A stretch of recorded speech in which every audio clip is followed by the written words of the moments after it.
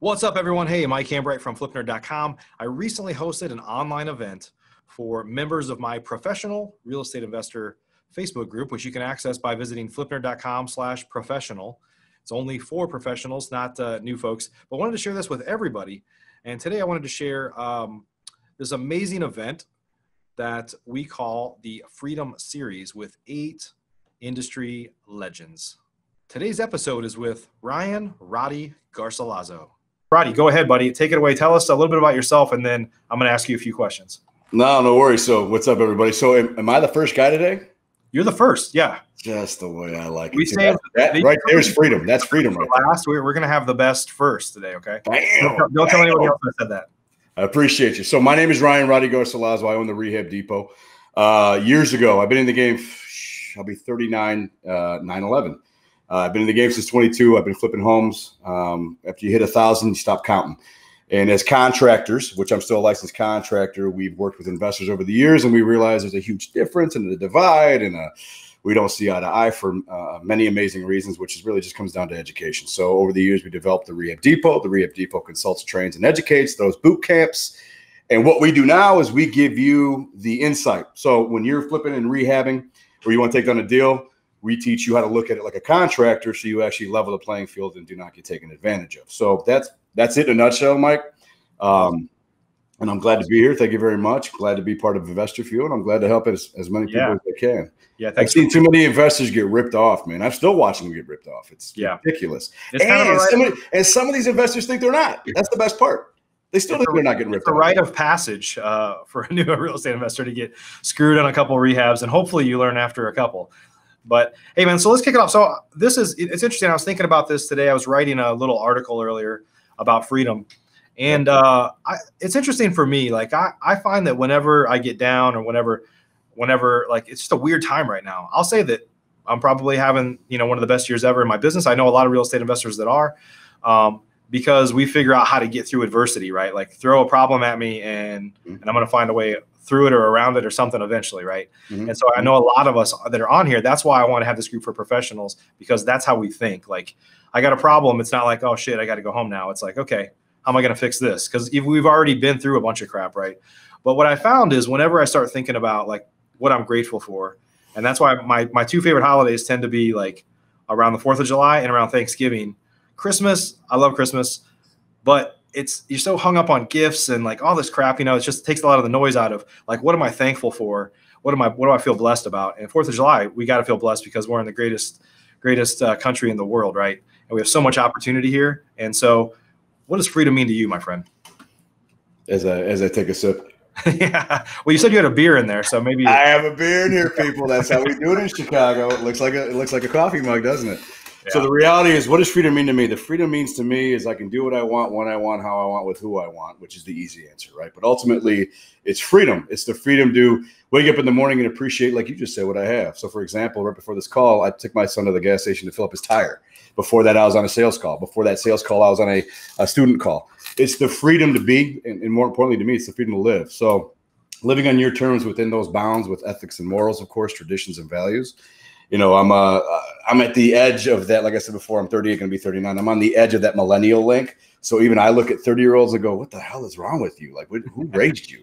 Because I'm I'm not 30. I'm almost 40. So, you know, I have those. I have a lot of values and traditions instilled in me, and I, I value that, and I trade that off to my kids and my wife and my and my family. But to me, that's the ultimate freedom: is to get up in the morning and do things I've never done before. Right? Every day I'm growing. You know, talking with you, I grow doing these all day long, I grow. Teaching yep. with students, I grow. And most importantly, I, I have no fear of failure. So when you're able to do that, that's freedom, right? You have the freedom to fail. And to me, that's you, you there's nothing better than that. Go ahead, take a shot. Take a yeah. shot. That's, that's it. How you, that's how you get stronger for sure. Yeah. Take a shot. Yeah. Yeah. So, guys, that, that for, for those of you that are watching right now, I want this to be as interactive as possible. We're going to open up the questions here in just a couple minutes, but tell me what freedom means to you right? A lot of us, I think, are, are blessed because we're entrepreneurs, even if we're not where we want to be yet. The truth is, as entrepreneurs, we're never where we want to be. We keep moving the goal line all the time. But uh, the reality is, is like if you've worked for somebody else before, you've worked in a job.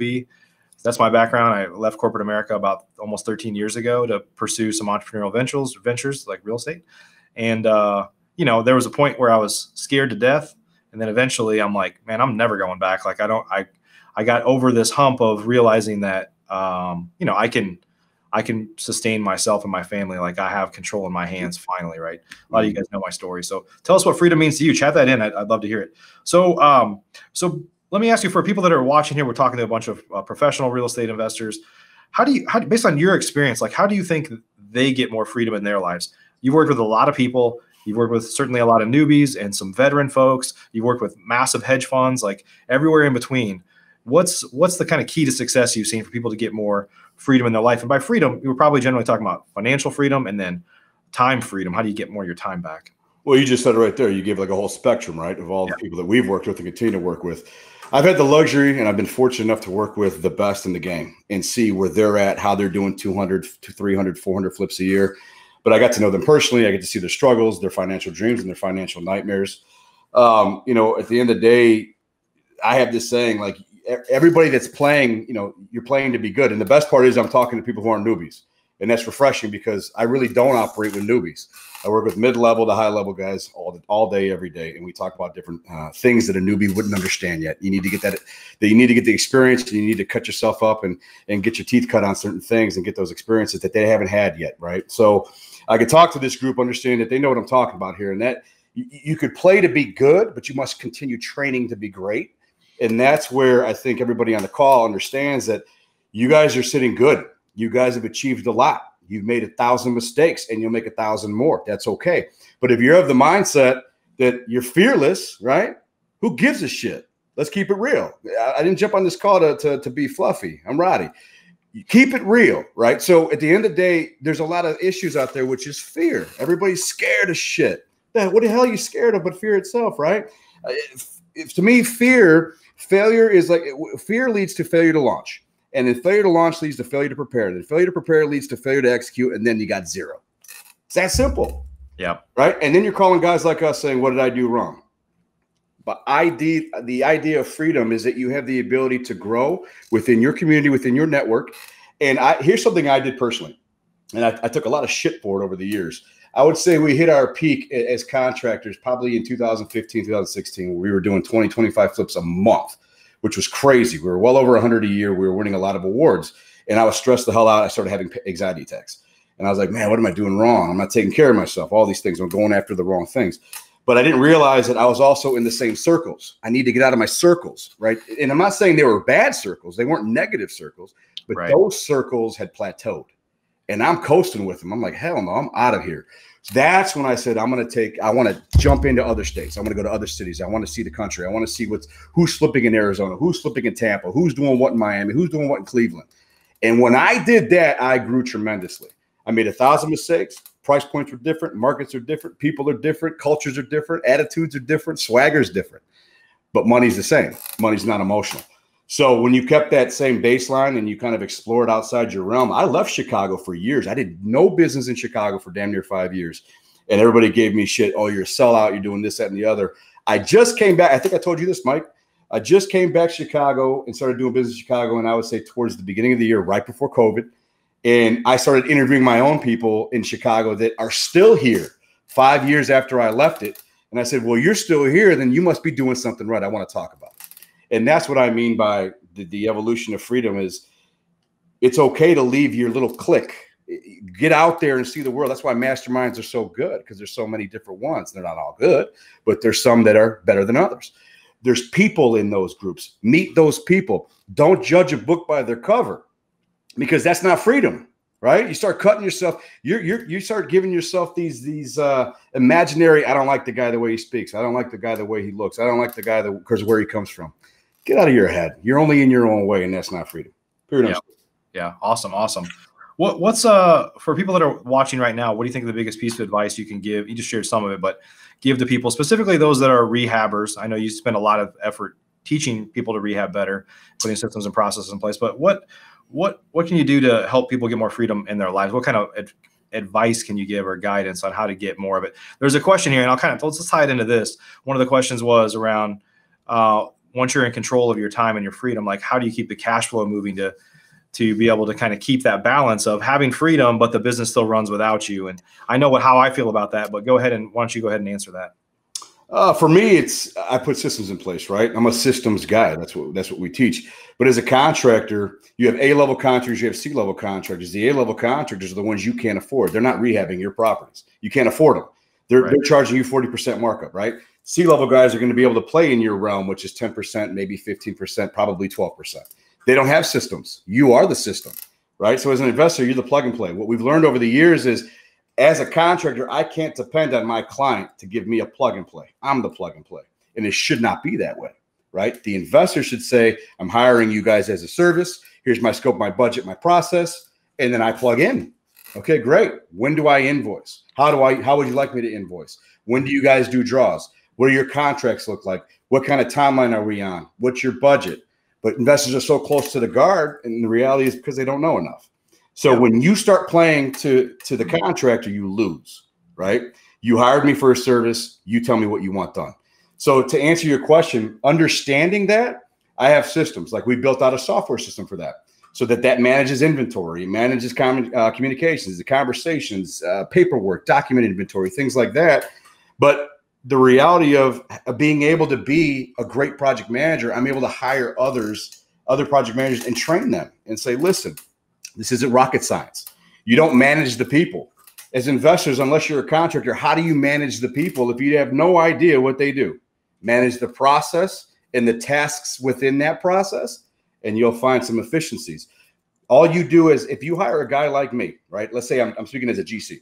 You hire a GC like me who, who does know what they're doing. You can't manage me. You don't know more than me. So what you do is you cater to me in terms of let me give him what he needs in the form of support so that he can continue doing what he does, which is manage the job and the people. Because when you hire a GC, he is a project manager. That's what you're paying a markup for. So all of a sudden you have these, you have these, you have these. I'm telling you, it's like a duel. It's a really a duel. But that's what gives us the freedom is that we know how to manage the process.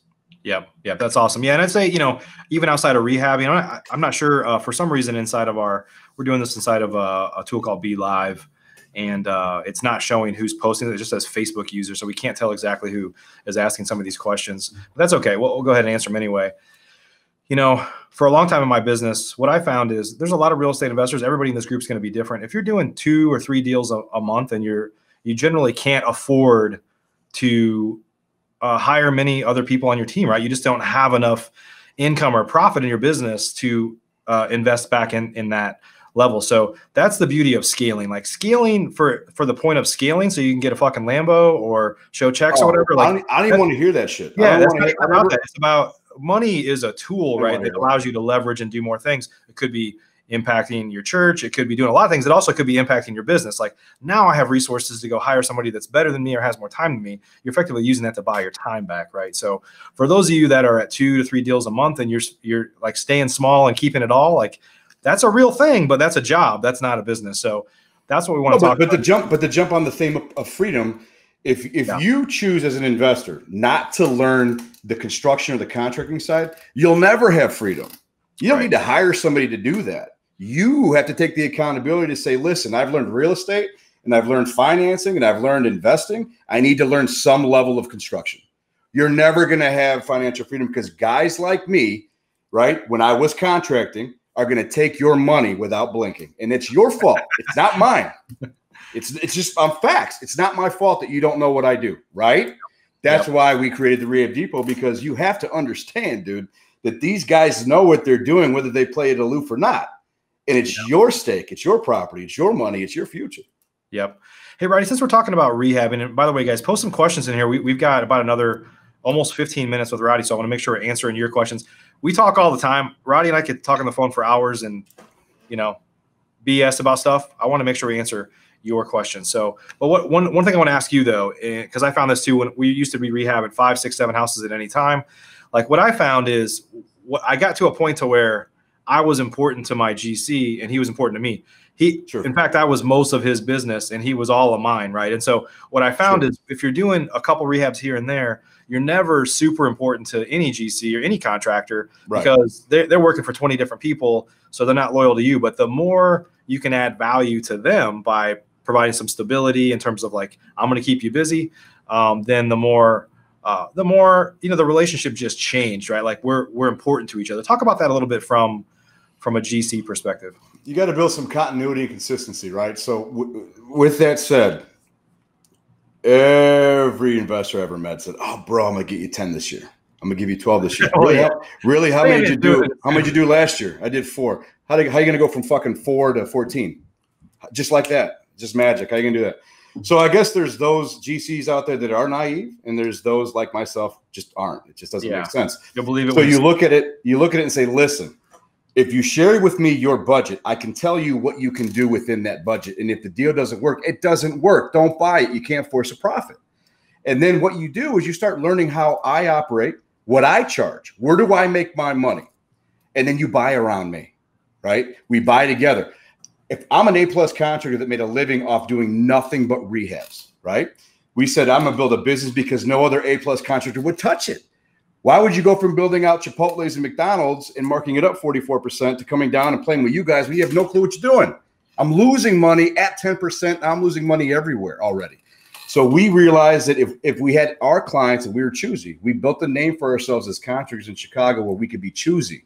So when I get calls later along from FortuneBuilders and Renatus and HomeVestors, I would say, okay, how long you been in the game though? Oh, this is I, uh, this is like my third house. Not for me, brother. Call the guy down the street. I knew my game very well, right? Yeah. You're going to cost me money, and then you're going to play me for it somehow, right? The reality was, it's how it works. The reality was simple that we need to be. Let's have some transparency, right? Let's have some open dialogue. Ask me questions about this project. I will give you honest opinion. We're going to establish some rapport, create some transparency, which creates trust, and then let's talk some numbers right? I know you have a formula. I know there has to be a return you're looking for. But let me help you understand what's happening in this property so I can tell you if what we can do at the max and what your contingency should be with the risks you're not considering so that you make a better decision on taking down the deal. And Yeah. once we started doing that, that changed the game. When I would actually have clients coming in with a property under contract and I'd say, I'd walk away, brother. I'd walk away because I'm going to hit you with 30 grand in change orders. You can't afford that. I'd walk away. There's too many hidden problems here. When we started offering that, that's when we realized, when the, investors started li- listening, uh, that's when I'm like, okay, all right, they're listening. Finally, you know, don't buy this house because for us, we're both going to lose. What's the point? I'm going to lose on reputation. You're going to lose on money. Forget it. And that's what it comes down to is take your contractor, establish dialogue, and have trust in the process. You're going to know real quick, man, if you and I jive. You're going to know real quick on your pre-walk, your first walk with any contractor, if you get along or not. And if you've got a contractor that's going, mm-hmm, yep, seen that before, sure, I've done 12 of these, yeah, we rehab all the time, mm-hmm. That's not the guy you want. You want the guy that says, yes, this is a load-bearing wall because of X. And, and if we have to do this, this is what we have to do, and it's going to cost you X. And it's going to take X amount of time. You want a guy that's going to start telling you how to finalize your scope of work not not cater to your scope of work and rip you off as as you're doing it. Absolutely, absolutely. I can say this shit all day, Mike. I thought we are talking about freedom. Yeah, yeah. well, uh, in the vein of freedom, let's another question. Another question for you is, look, one of the things when I, if I go back about ten years, I was whole. I, actually, I primarily wanted to rehab when I started, and uh, I didn't really understand wholesaling when I first started. And I quickly did realize that it's a big part of you know cash flow in your business, especially early on. And uh, as I grew, though, I realized, look, I make a lot more money rehabbing, uh, no doubt. And so, and right now is is an is a you know is it's, it's the same issue is like look it's harder to find like marketing costs have gone up lead generation is tough all that stuff right so why not squeeze more fruit out of more juice out of the fruit that you have. Now i'm not telling you guys to go rehab everything but what i'm telling you is you can make more money if you if you could you know you shouldn't rehab every house no doubt. Some houses you should just wholesale or just list it and not, not do anything right? But uh, if you can make more money wholetailing or rehabbing, and there's always a rule of thumb, like it, you know, my rule of thumb has always been, if I can make double or more, I should do that, right? Because there's a lot more effort that comes in with it, and I think one of the things that Rotty brings to the table here is teaching people how to really be rehabbers instead of just trying to figure it out and being a guinea pig with your own uh, thing. So, so two parts, two two questions here are. I'm going to bring you a question. I want to ask everybody else a question first. Maybe just chat in what your mix looks like right now. Are you primarily wholesaling? what percentage of rehabs are you doing and is that shifted through all this uh, through all this covid stuff because i'm to tell you right now the retail market is if you re- if you look at statistics the retail market is down right but the truth is is most people that are selling retail right now, investors are making more money than ever because there's no inventory on the market, right? So we're benefiting from that. So you should be doing more of that activity. So my question for you, Rotty, is talk a little bit more about how people can get closer to freedom. Maybe start start off with that financial freedom by shifting and doing more rehabbing and wholesaling uh, than maybe they have in the past, even though the market seems crazy right now. Uh, that's a tough one because rehabbing is not easy, right? I mean, it's just not. Everybody knows that. Everybody who's rehab knows it's not easy. And the money always looks good on paper. The deal always looks great on paper. You're taking it down for a reason because the numbers make sense to you in some form or fashion. But unless you're not getting involved at some level in your rehab, you have no chance, right? And I'm not suggesting by any means that you you jump into construction, right? Uh, what happens often is a lot of investors operate as a GC without realizing they're being the GC, right? They want right. to control the cost and they want to hire a sub. That's great. Well, why don't you learn what a GC actually does so you're more efficient, right? Yep. Um, and I know a lot of, uh, trust me, I have a lot of students and a lot of clients that even you know in different states where some of those states are cracking down on these investors saying you need to get a license now. You're operating as a GC. We see it. And also now they're calling saying, well, really, how does a GC, how does a GC work? Yep. You know, most people, I see the last one, somebody just posted love and hate rehabs. That's it. Everybody. it's a love hate relationship. Yeah. I have a love hate relationship with rehabs, but to me, that's just what I do. I wake up in a rehab. But it's it, that's exactly it. And for us, just so you guys know, all we see is Facebook user. We don't see anything else, so we don't know any names. But so Facebook, so the last Facebook user, thank you, at fifteen twenty three. But the reality is, yeah, man. At the end of the day, don't rehab if you don't plan on being a participant, and do not rehab if you don't plan on understanding what your role is. Your role is project manager. Understand that your job is to manage the process. Don't manage the people. You can't manage the people right? Think of college. You, you, go to college for the first time, right? And you get out of college and you get your first job. Everybody's like, I want the big paycheck and the big salary. Who the hell is going to give you a big salary? You have zero experience. Right. That's what rehabbing is, right? So if you're trying to scale, but you've only done 10 this year, good job on the 10, without question. But scale it at, a, at an uh, adequate rate. But during that scaling, you're learning you're asking people for help. You're circling, like I said earlier, you're finding a better circle of guys who you want to do 20, go hang out with the guys doing 20 then. You want to do 100, go hang out with the guys doing 100 then, right? You want a GC who's objective, then you give us a call so we can say, I wouldn't do that if I were you. It makes no sense to me. You're not seeing it the way we see it, right? Not every contractor is going to be there to help you because you're not actually hiring them for the service of help. You're hiring from the service to build. Right. And in construction, we have a saying called make it work, make it fit. Right. They're not going to tell you that. But sometimes you're just like, well, I got to make that fit in there. I got to do what I have to do. But as long as it's done to code, that's all that matters. So the idea of understanding your role in the process is why and when you should enter the rehab game. If you're willing to learn and willing to grow, but most importantly, going back to the freedom of fear, if you're willing to just take the risk, but you know you're going to learn as you go, then go for it. But yep. if you if you're listening to this call and you think you know what you're talking about, and you're listening to this call and you're like, oh, I've done a hundred, I know what I'm talking about, because there's a lot of you watching and doing that because that's just the nature of the game. And I guarantee there's some watching going, oh, I, he doesn't know what he's talking about. Please.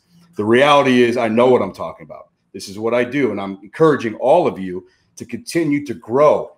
Then you will have financial freedom. So some of you think you're good. You have a lot of money. You're making money. Good. God bless you. But at the end of the day, if you have big dreams and big goals, which is what this is all about, you must continue to educate. You must continue to have the right circle and you must continue to grow with that circle. Get bigger, better people that are smarter than you. I still do this on a regular basis.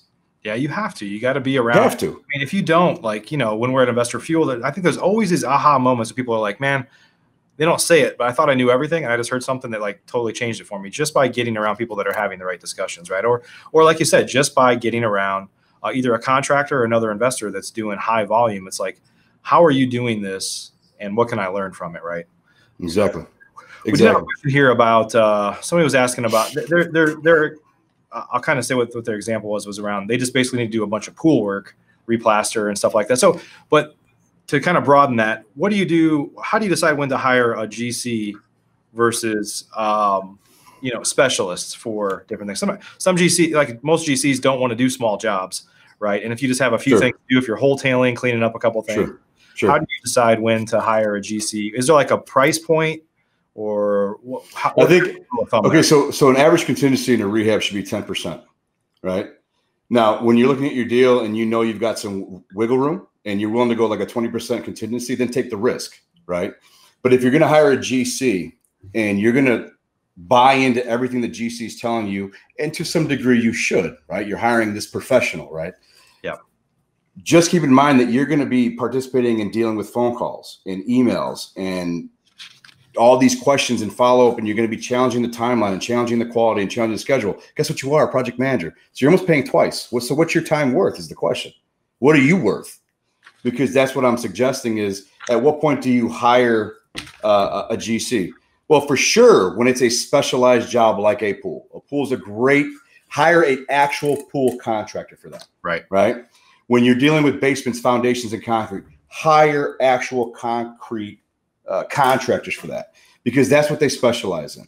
And be prepared to pay retail because they don't have to drop down to rehab. Right. It's the GC you hire. Remember, the GC operates as your project manager. His job or her job is to put all the pieces together get all the subs, line them up, put a schedule together, figure out the pricing, negotiate, um, manage draws, which they're not very good at, and manage people's personalities, which they're also not very good at. So at the end of the day, that's that's one of the tough things to, to decipher it. But I would look at your scope of work, right? Is your scope of work a remodel? Is your scope of work a hotel? Is your scope of work a hundred thousand dollar rehab where there's a renovation involved? Uh, does your scope of work require an architect? because your scope of work is actually going to tell you at what level you need to start playing your game. Because, like I said earlier, you could play to be good, or you could practice and train to be great. And at some level, you must actually hire the best of the best, and you have to pay for that. So, yep. if you look at a project early on and you're scouting it out and you're trying to make a deal and you're trying to go deep as hell on that deal, good. But keep in mind, then think about don't think about just your buy box, think about your rehab box, think about your construction box. What are you facing? What what could possibly be the risks? What could possibly be the guys you need? Right? How many people buy bad houses, eh, you know, in the Midwest that have foundations and basements that are leaking and find out they need like 13 piers? Right? People like, what's a pier? That's good. It costs you like eight to eight hundred to a grand. A pier. Did you plan for that? Is that in your budget? No, of course. Well, there you there's your first change order. Right? There goes contingency. So these are things that you know it takes time for you to take the accountability to to, to learn Yep. So yep. all the way back to the beginning, should I rehab? Only rehab if you plan to learn. If you don't plan to learn, don't rehab because you're just giving money away. No, you really are. You're just giving money away. Yep. Yep. Awesome. Well, Rotty, thanks for joining us today. Good to see you, buddy.